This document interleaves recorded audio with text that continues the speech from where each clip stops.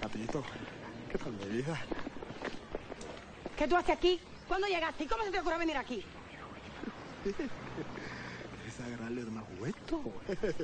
Me contará que vengo aquí hasta aquí nada más para verte. ¿Tú cómo me has encontrado? ¿Qué pasa, mamita? ¿Qué pasa? ¿Qué pasa? No me toques. ¿Qué pasa, mami? ¿Por qué ya no quieres a tu papito? Dime. ¿Por qué Blanquito ese te da lo que a ti te gusta? ¿A que no?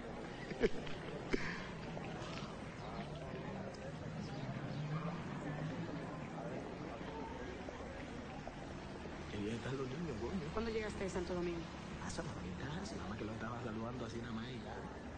Olvídate que no va a pasar nada, ¿vale? Tranquila, estoy con mi primo, ¿ok?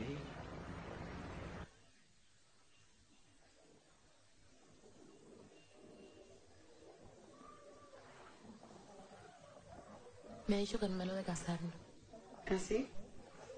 Ay, sí, pero es que yo primero quería mirar todo esto, ver si me cuadra, entonces después si me caso o no me caso.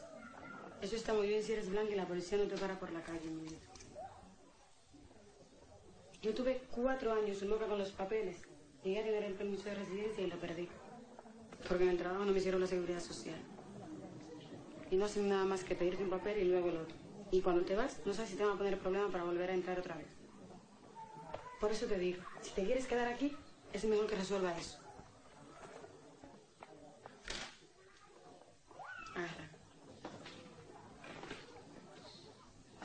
Ven acá, aquí se usa la luna de miel. Sí, pero ni lo sueñes. Son muy tacaños. ¿De verdad? Tacaños y sucios. Ay, pues mira que cuando nosotros nos conocemos, él iba a verme a Cuba era totalmente diferente. Cuando él me iba a ver, nosotros nos íbamos para la playa. Cuando veníamos de la playa, Palacio de la Salsa, Comodoro, La Mesón, de todo. Ay, espérate un momentico que te traje una cosa.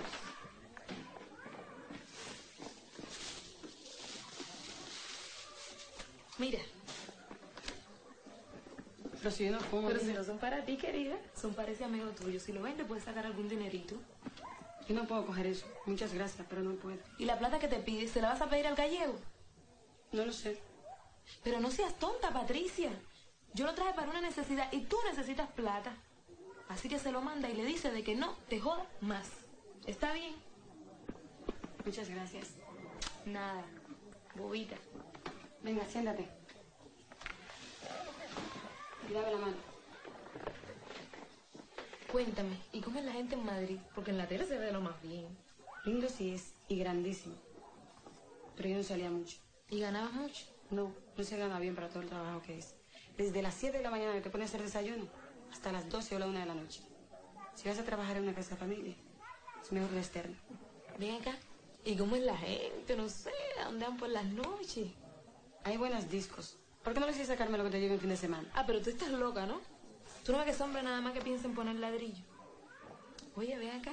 ¿Y por qué esta tarde no nos vamos tú y yo para la mocha? Yo no puedo, mi amor. Tengo un montón de trabajo por hacer. Ay, pero tú no me digas a mí que te vas a poner igual que ellos, ¿no?